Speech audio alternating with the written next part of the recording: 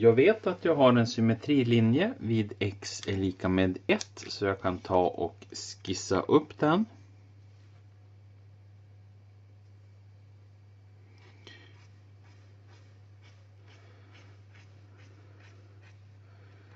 Så. Och sedan så har jag två stycken punkter. Jag har en som ligger på 0,8 och då kan vi tänka oss att vi befinner oss här.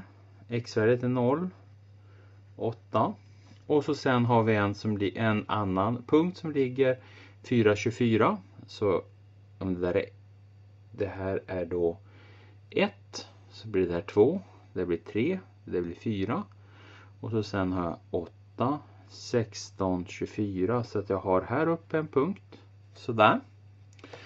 Och så sen ska jag tala om två stycken andra punkter.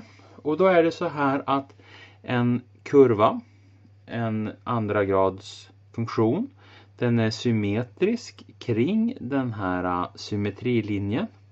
Så om jag går från den här kända punkten in till symmetrilinjen och så går jag på samma avstånd på andra sidan här.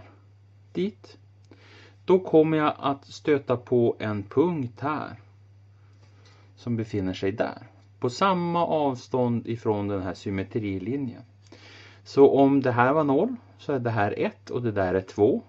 Så den här punkten har koordinaten 2.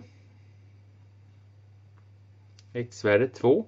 Och så sen är den på samma höjd, så den har samma y-värde och y-värdet för den här, det var 8. Så den här har koordinaten 2, 8.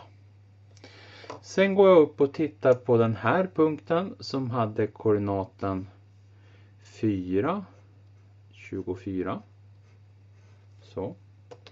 Och så tittar jag om jag går från punkten in till symmetrilinjen här så har jag x-värde 4 här och x-värde 1 här så avståndet däremellan är 3. Då ska jag gå 3 på andra sidan. 1, 2, 3. Det här avståndet är också 3.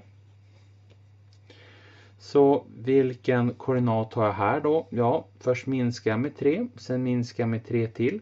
Så jag har minskat med 6 från 4, så x-koordinaten är alltså minus 2. Sedan befinner jag mig på samma höjd så y-koordinaten är 24. Sådär.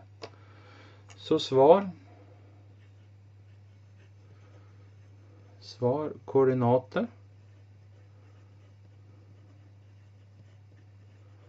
På två andra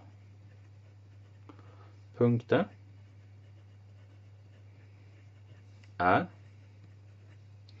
och så ser vi då 2,8 och minus 2,24. Sådär.